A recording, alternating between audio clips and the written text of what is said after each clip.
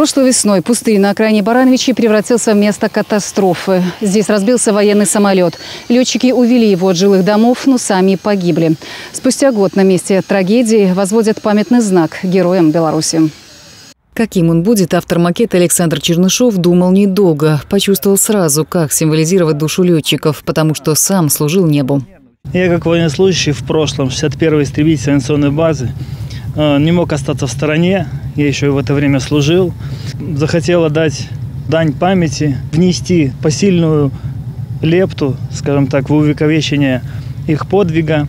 На создание макета мужчину вдохновил монумент памятника погибшим барановичским летчикам Александру Марфийскому и Александру Журавлевичу, установленный возле польского города Радом. Кроме того, взял за основу песню Марка Бернеса «Журавли». Пока представить будущее сооружение помогает бумажный макет. Именно таким монумент будет к началу мая.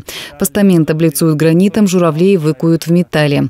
На одной стороне гранитной плиты нанесут имена героев, на оборотной – последнюю зашифрованную фразу переговоров между пилотами. Журавли – это и символ Беларуси.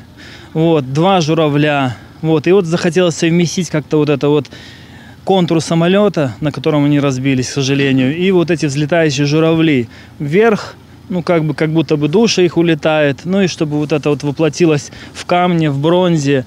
Страшную трагедию местные жители помнят до сих пор. 91-летняя Динаида Кажина приходит на место крушения каждый день, разговаривает с погибшими и следит за порядком. Я прихожу каждый день, на день бывает два раза. Поправляю шапку, чтоб ветер не снес. Они мои сыны, но они, я недостойна таких сынов иметь. Они мне данные Богом. И я ходила до их, и ходить буду, пока я живая. Открыть памятный знак в Барановичах планируют годовщине гибели героев 19 мая. На церемонию пригласят родных и сослуживцев погибших. Придет сюда и Александр Чернышов. Сейчас он работает руководителем по военно-патриотическому воспитанию школьников. Признается, что ждет, когда со своими воспитанниками сможет положить цветы к подножию памятника. Не в землю нашу полегли когда-то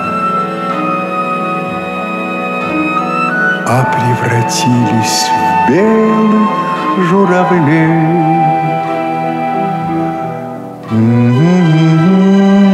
Татьяна Манчак, Николай Рудский, телерадиокомпания «Брест».